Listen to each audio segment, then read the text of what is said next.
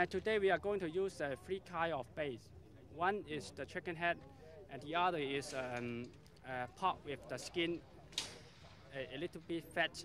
As uh, Mr. Liver said that this will be uh, quite tasty to the crocodile. And and one more bait is the uh, we use uh, uh, mice.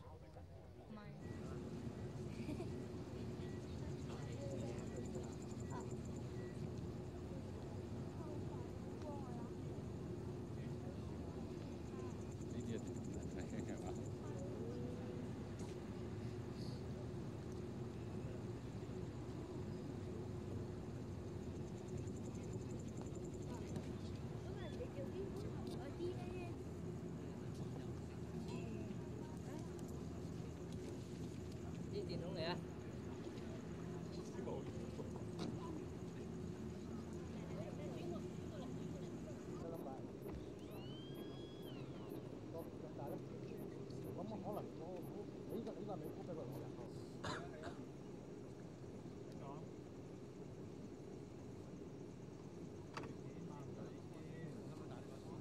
No, I'm going there for business. Oh, yeah.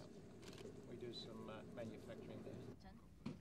Um, well, we saw it, I think, eight times tonight, and I think we approached it four times in an attempt to actually harpoon it. But the distance, the closest we ever got was about four to five metres. Most of the time it was about uh, eight to ten metres. So, uh, and that's nowhere near close enough. You know, for me to get a harpoon into that crocodile, I have to be from me to you. Okay?